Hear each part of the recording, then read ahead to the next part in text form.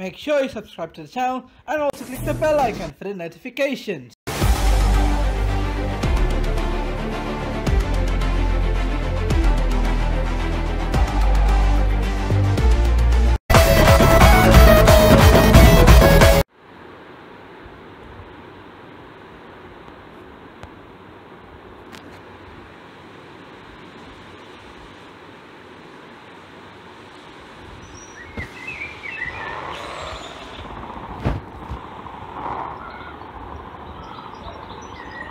Yeah.